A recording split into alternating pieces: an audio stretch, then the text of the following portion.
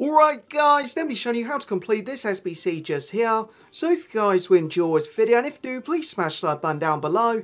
So time recording, currently got around 90,000 coins complete. Do get two packs back as well, so the packs back. Small gold players pack, and also small rare mix players pack. For the very first squad just here for the requirements, requires one player from France, 83 for the rating. So what we want to do, pick up 983 cards, 282 red cards for 83s, of around 1,500 coins of my ones. Griezmann, Firmino, Henderson, Fernando, Dad Silva, Stones, Højbjerg, Fabian and Neves. Up top, 282 red cards. Of got about 800 coins of my two. Rafa and Lopez. That completes that squad just there.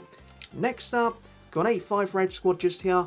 Requires a player for the French League as well. So first up, pick up the cheese 87 red cards you can find for about 21k of me. Picked up Trent.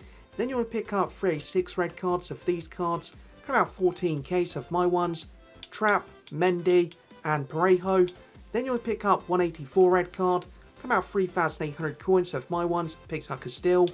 Then you want to pick up 6 83 red cards for these cards, come around 1,500 coins of my ones, Stones, Henderson, Fabian, Dad Silva, Højbjerg, and also Fernando, and that completes the SBC.